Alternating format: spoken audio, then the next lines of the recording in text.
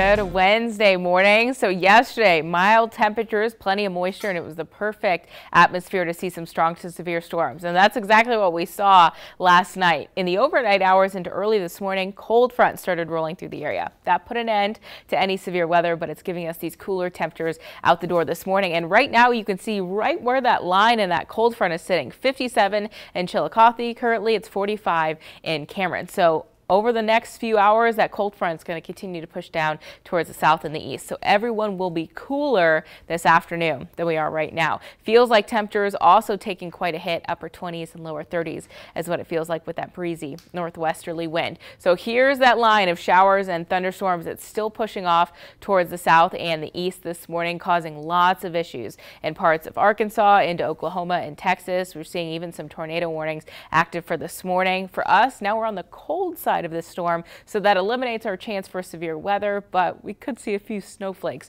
when everything is said and done tomorrow morning. Right now on the radar, you can see most areas are dry. A few spits and sprinkles going to be possible, though. As we move towards the next few hours, I think we'll get a light chance for rain later on tonight, close to the dinner time hour. So I wanted to share with you a few damage reports that we've gotten from the National Weather Service from those storms that moved through last night. We did have a tornado warning here in St. Joseph. It was radar indicated, so right now we don't have any reports of any touchdowns across across our area. Of course, if we get different information eventually from the National Weather Service, we'll be sure to keep you updated. But right now, all these reports that I have to show for you are wind reports because we had those damaging wind gusts right ahead of that storm on the leading edge. So the first one coming in around 8.50 yesterday evening, that was right in the bulk of our severe thunderstorm warning. There's some roof damage to East Hills Mall. A second one we got a report at a church very close to I-29 had the glass blown out of its windows because of those strong wind gusts. And then a few more neighborhoods close to uh, I-29 as well. On the eastern side of that, we got reports of roof damages to several homes across the area, both of those because of those strong straight line winds. Rainfall, also a big story for yesterday here in St. Joseph officially. We picked up 1.15 inches of rain.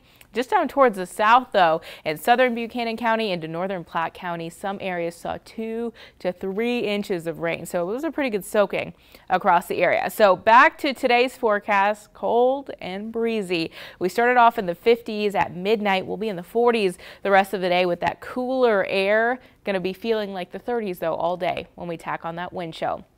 So for most of your Wednesday daytime hours, I anticipate that we're going to be dry except for a few spits and sprinkles. Later on tonight, close to the dinner time hour, I do anticipate that we'll see a few pockets of some light rain. And as we move into the overnight hours, the sun goes down, that cooler air surges in. And it's not out of the question we might see a little bit of light snow mixing in across the area. Shouldn't be too impactful, but tomorrow morning as you head out the door, don't be surprised if you see a little bit of light snow lingering across the area. Thursday will be for the most part a cloudy and cool day. Sunshine returns again on your Friday. 46 this afternoon for your high. Really 57 will be the high. That's what we hit at midnight. Cloudy skies, isolated showers here and there better chance for some light rain overnight tonight, but it will certainly be cold enough to see a little bit of light snow mixing in with that overnight into the early morning hours on your Thursday. 47 tomorrow, clearing skies. It's still going to be pretty cloudy for tomorrow.